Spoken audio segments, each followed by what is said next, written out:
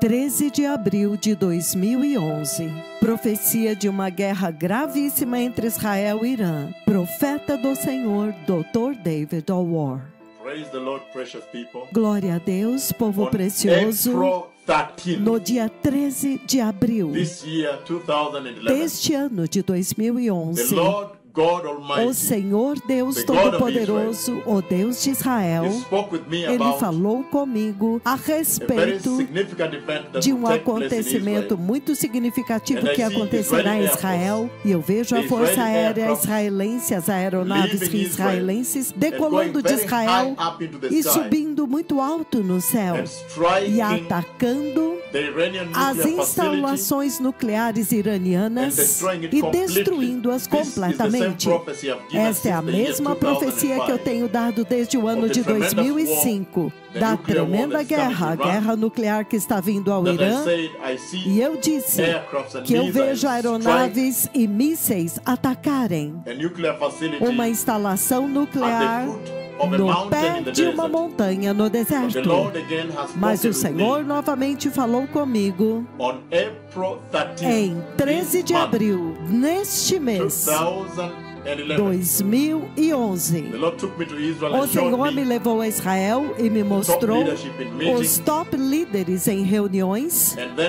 E então eu vi as aeronaves israelenses partirem. E eles atacaram o Irã, as instalações nucleares, e então eles voltaram para casa em segurança. Então a "Pray voz do Senhor Israel." disse: Ore por Israel, povo precioso. over. O tempo acabou. Prepare o caminho para a vinda do Messias. Que as nações da terra se arrependam e abandonem o pecado. Povo precioso. A guerra Israel-Irã que vai acontecer will be so severe será tão severa that there will be a hit back. que haverá uma forte resposta, where Iran hits back. Onde o Irã ataca de volta. And it's going to be a flare up. E vai explodir uma forte reação. And it will be led by Russia. e será liderada pela Rússia. As you can see today, Como vocês podem ver hoje. In the news I am going to read for you here, nas notícias que eu vou ler para vocês hoje aqui, how Russia won. Como que a Rússia adverte. Russia wants Israel and United States A Rússia adverte Israel e os Estados Unidos para não atacar o Irã. So you begin to see the central role of Russia Então você começa a ver o papel central da Rússia nesta guerra. Até mesmo as usinas nucleares no Irã, they have been built by Russia. elas foram construídas pela Rússia.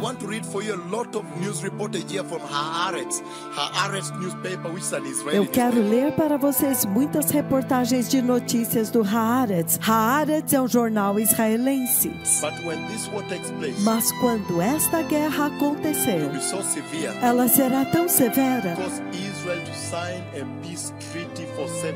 que vai fazer com que Israel assine um tratado de paz por sete anos.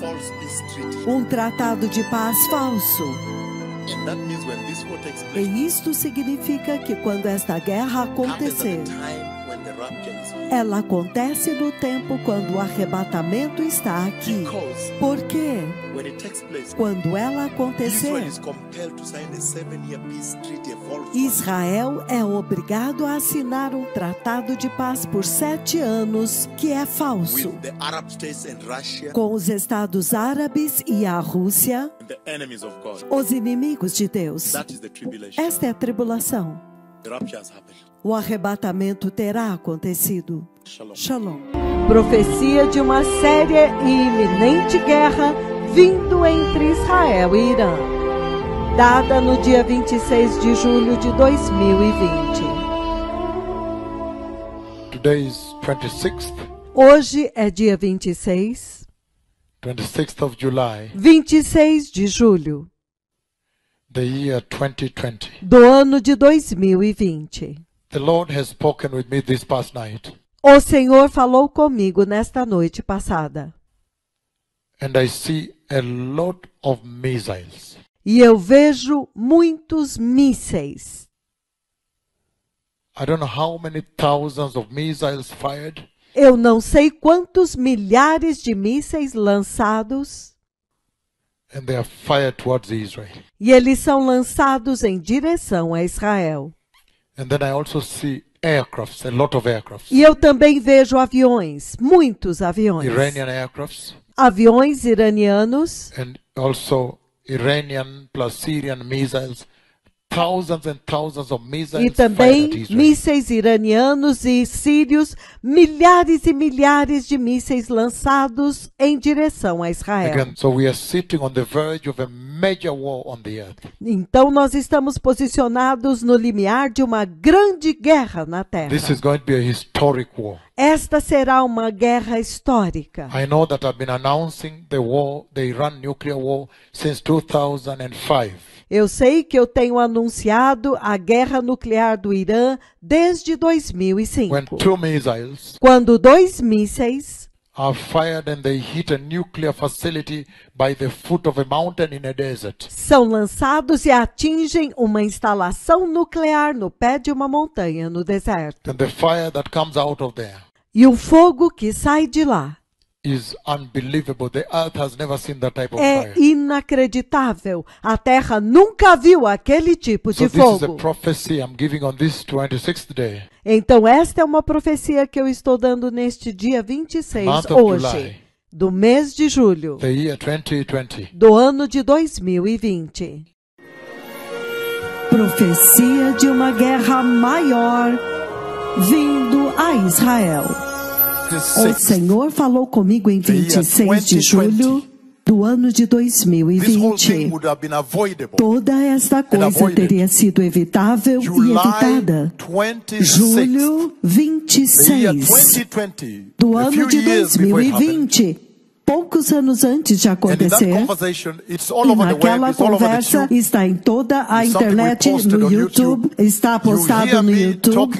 Vocês me ouvem falando a 7th respeito do ataque de 7 de 2020. outubro vindo a Israel em I'm already giving the 2020. details. Eu já estou dando os detalhes. Eu disse que muitos mísseis iriam atacar Israel, eles iriam tentar destruir Israel. E eu is disse: uma grande guerra está vindo a Israel.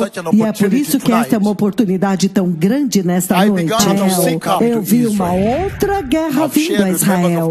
Eu compartilhei com os membros do. Knesset. Alguns que eu encontrei ontem, e esta é a razão pela qual estou aqui. Esta 2020 outra eu vi em began looking 2020 for e comecei a procurar pessoas uh, até que Dan Zonshine, o embaixador israelense no Brasil, veio "Please até mim e eu comecei a compartilhar com ele. Eu disse, por favor, diga para another Bibi se preparar para a guerra. Mas há uma outra guerra vindo e eu quero estabelecer isso aqui e haverá muito mais necessidade para a igreja agora ficar ao lado de Israel. care Uma guerra muito mais séria vindo a Israel e é por isso que eu vim aqui. Eu não quero que esta nação seja surpreendida thank novamente.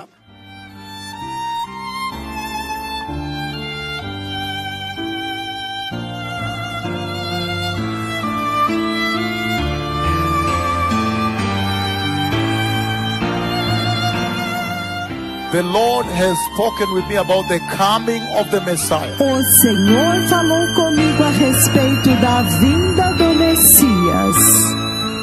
Orai pela paz de Jerusalém.